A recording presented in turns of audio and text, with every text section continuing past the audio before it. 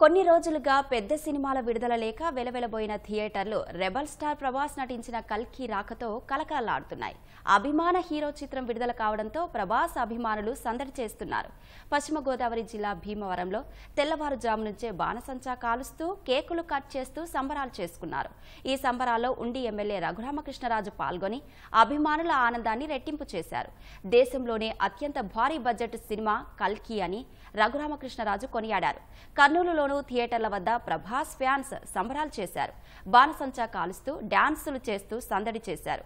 కల్కి సినిమాను నాగ్ అశ్విన్ హాలీవుడ్ రేంజ్లో తీశారని అభిమానులు ప్రశంసిస్తున్నారు.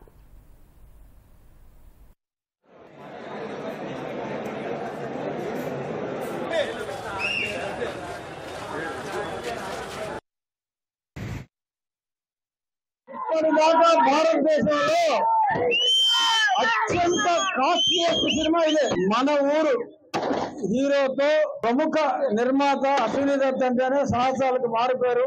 ఇరవై ఒకటో ఏట రామారావుతో సినిమా తీసిన వ్యక్తి ఇన్ని రికార్డులు బదులు కొడతాం అనవసరం. నేను చెప్పేది ఏంటంటే ఒక కొత్త ల్యాండ్ మార్క్ రికార్డ్ని సెట్ చేద్దాం. నాగేశ్వర అన్న అన్న గుండెలు పిండేసినావు అన్న ప్రభాస్ అన్నానికి అర్థం చేసినావు అన్న అన్న ఫ్యాన్స్ కోసం అయితే ఇచ్చి పడేసినావు అన్న. థ్యాంక్స్ అన్న థ్యాంక్స్ అన్న లవ్ యూ అన్న. బాగుంది సినిమా.